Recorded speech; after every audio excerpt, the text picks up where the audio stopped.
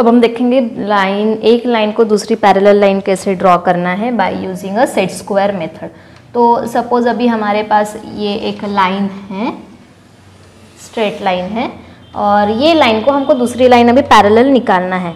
तो suppose this is a line L और इसको हमको लाइन एम पैरेलल निकालना है बाय यूजिंग सेट स्क्वायर तो हम कैसे करेंगे कि कोई भी एक पॉइंट पी लेंगे ऑन अबाउट दिस लाइन और एक सेट स्क्वायर लेंगे और एक दो सेट स्क्वायर हमको लेना है इसमें। एक सेट स्क्वायर है ये लाइन पॉइंट पी को टच करके ऐसा रखेंगे। इतना बड़ा सेट स्क्वायर नहीं तो मैं आपको यहाँ पे सिर्फ़ ड्रॉ करके दिखा रही हूँ। ये फ़र्स्ट सेट स्क्वायर है।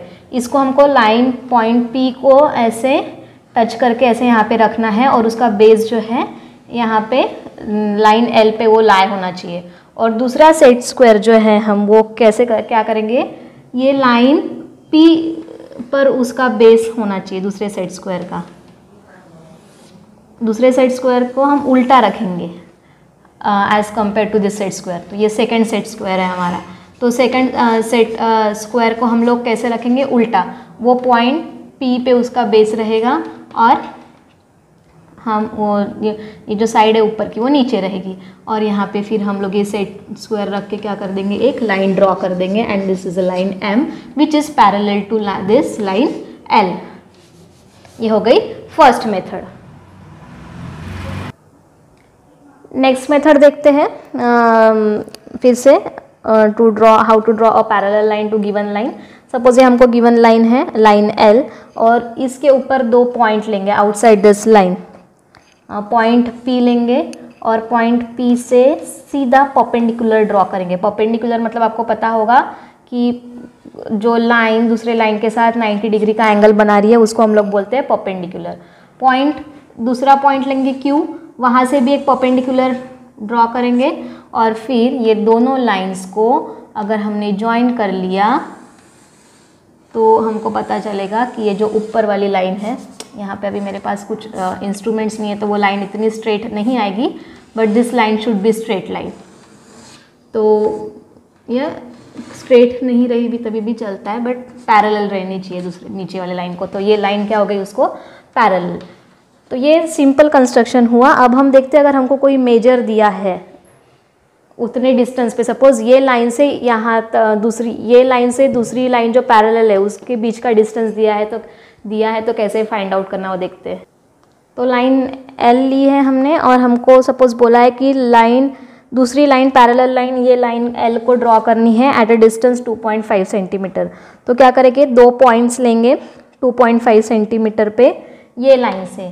लाइन एल से 2.5 सेंटीमीटर पे दो पॉइंट लेंगे। सपोज़ ये डिस्टेंस है 2.5 सेंटीमीटर का। ये पॉइंट पी लिया 2.5 सेंटीमीटर पे और पॉइंट क्यू लिया। इसके पहले जो हमने लिया था ना यहाँ पे ऐसे पी और क्यू पॉइंट जिस पॉपेंडिकुलर टू दिस लाइन तो ये पॉइंट पी और सपोज़ uh, इसको नाम एम दिया और एन दिया। तो लेंथ जो है दोनों की length of P M and length of Q N should be equal दोनों की लेंथ क्या रहनी चाहिए? इक्वल रहनी चाहिए। तो ये वो दूसरी लाइन जो रहेगी ऊपर वाली नीचे वाले लाइन को पैरेलल रहेगी या गिवन लाइन को दूसरी लाइन पैरेलल रहेगी।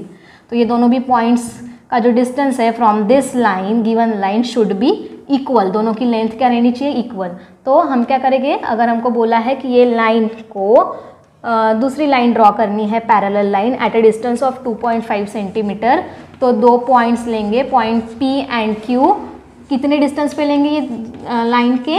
ये लाइन के ऊपर 2.5 सेंटीमीटर के डिस्टेंस पे लेंगे।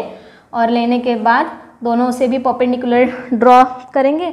और या तो फिर ये लाइन एक परपेंडिकुलर लेंगे दोनों भी और 2.5 सेंटीमीटर का डिस्टेंस लेंगे कंपास में या स्केल से मेजर करेंगे और मेजर करके मार्क कर लेंगे 2.5 सेंटीमीटर का डिस्टेंस और जहाँ पे 2.5 सेंटीमीटर का डिस्टेंस आ रहा है, वहाँ से एक लाइन पास होगी और वो जो लाइन रहेगी that line will be parallel to given line तो ऐसे हम लोग गिवन लाइन मतलब दिए गए डिस्टेंस पे कोई लाइन जो है, उसको दूसरी लाइन ड्रॉ कर सकते हैं parallel line at a given distance